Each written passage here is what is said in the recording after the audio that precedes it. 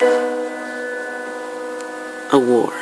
A war that started on Cybertron between Autobots and Decepticons now continues on Earth, putting human beings in danger because they're Decepticon foes. When we arrived, we hoped that they didn't follow us. We were wrong.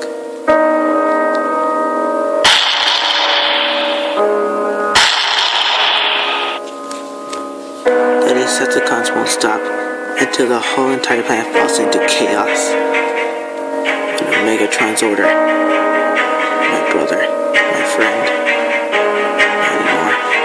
I won't stop until every citizen of planet Earth will stay safe. I put my own life on the stand. Fight my Autobots.